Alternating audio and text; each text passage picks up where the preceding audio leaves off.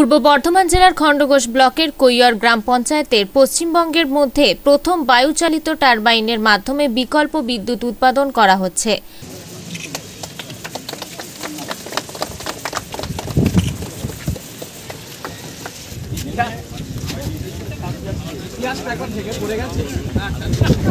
বুধবার তার শুভ উদ্বোধনী অনুষ্ঠানে উপস্থিত ছিলেন খণ্ডঘোষ ব্লকের সমষ্টি উন্নয়ন আধিকারিক সত্যজিৎ কুমার, জেলা পরিষদের সদস্য বিশ্বনাথ রায়, খণ্ডঘোষ পঞ্চায়েত সমিতির সভাপতি অসিত কুমার বাগদি সহ সভাপতি শ্যামল কুমার দত্ত, গ্রাম পঞ্চায়েতের প্রধান আগমনী চক্রবর্তী, উপপ্রধান শাহজাহান মণ্ডল, জেলা ও ব্লক থেকে আগত আইজিপির আধিকারিকগণ, খণ্ডঘোষ থানার আধিকারিক সহ বিশিষ্ট ব্যক্তিবর্গ। বর্ণালী সাহা পঞ্চায়েত সমিতির সদস্য।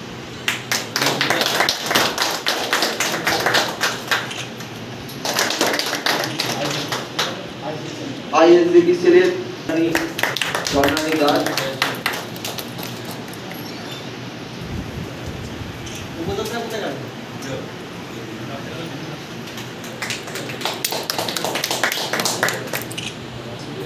খণ্ডঘোষ থানার টারবাইনের উদ্বোধন করেন BDO Satyajit Kumar.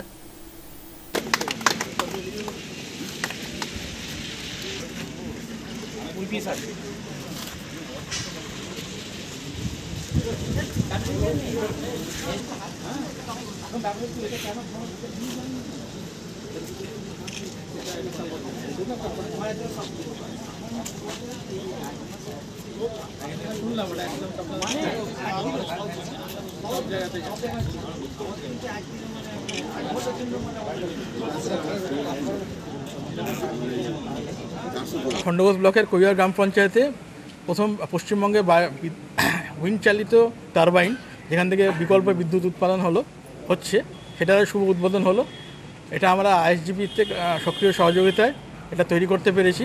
State finance কমিশনের যে পারফরমেন্স বেস্ট গ্র্যান্ট আছে, সেই টাকা থেকে এটা এটা করতে পেরেছি আমরা। কত টাকা ব্যয় এটা আনুমানিক সাড়ে সাত সাত লক্ষ টাকা ব্যয় হয়েছে। সুবিধা কি? সুবিধা হচ্ছে যে এটা বিকল্প বিদ্যুৎ ব্যাকআপ দেবে। যখন এমনি সময় কারেন্ট থাকবে না বা পাওয়ার শাট অফ হবে সেই সময় এটা পুরো সাপোর্ট দেবে। এবং হ্যাঁ বিদ্যুৎ রিজার্ভ করা যাবে এবং রিজার্ভ করা যাবে এবং বিদ্যুৎ যে বিল সেটা অনেক কম আসবে। কে পূর্ব বর্ধমান জেলার খণ্ডঘোষ ব্লকের কোয়ের গ্রাম পঞ্চায়েতে উইন্ড টারবাইন আজকে বায়ুচালিত বিকল্প বিদ্যুৎ উৎপাদন যেটা পশ্চিমবাংলার মধ্যে সর্বপ্রথম গ্রাম পঞ্চায়েতে আজকে সেই উইন্ড টারবাইনের বিকল্প বিদ্যুৎ উৎপাদন আজকে শুভ উদ্বোধন হলো। এর ফলে কতটা উপকৃত হবে এই পঞ্চায়েত? দেখুন ঘটনা হচ্ছে আজকে দিন দিন যেভাবে কারেন্টের বিল আমাদের পঞ্চায়েতে এই কৈরগ্রাম পঞ্চায়েতে প্রতি মাসে কারেন্টের বিল প্রায় পাঁচ থেকে ছ হাজার টাকা কারেন্টের বিল আসে। আজকে এই বায়ুচালিত বিদ্যুৎ উৎপাদন, যেটা সব থেকে ভালো একটা দিক হচ্ছে লোডশেডিং বলে কোনো কিছু থাকবে না। চব্বিশ ঘন্টায় মানুষকে কিন্তু পরিষেবা দেওয়া যাবে।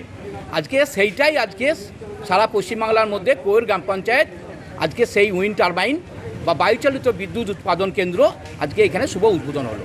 মহাশয়, তিনি আমাদের একজন ভারতীয় নাগরিক, তিনি পথ দেখিয়েছিলেন যে সৌরশক্তিকে কাজে লাগিয়ে বিদ্যুৎ তৈরি করে কাজে লাগানো যায়। তো সেই জায়গায় বায়ুশক্তিকে কাজে লাগিয়ে আজকে আজকেই আমরা দেখলাম যে অনুষ্ঠানের মাধ্যমে আমাদের সেক্রেটারি সাহেব বললেন যে দীর্ঘ দেড় মাস দেড় মাস ধরে আমাদের গ্রাম পঞ্চায়েতে এক সেকেন্ডের জন্য কোনো রকম বিদ্যুতের ঘাটতি হয়নি, অর্থাৎ সেই পরিষেবাটা দিয়েছে এবং তার সঙ্গে আজকে আমাদের যে আর্থিক যে সেফ অর্থাৎ সুরক্ষা যেটা যে জায়গাটা, বিদ্যুৎ বিল সেটা আটকে গিয়ে আগামী দিনে এটা দীর্ঘমেয়াদী থাকলে দেখা যাবে যে গ্রাম পঞ্চায়েতে যে বিদ্যুৎ পারপাস যে বিলটা যেত সেই বিলটার পরিমাণটাও একটা গিয়ে সেই পরিমাণ টাকাটা কিন্তু গ্রাম পঞ্চায়েত অন্য জায়গায় কাজে লাগতে পারবে।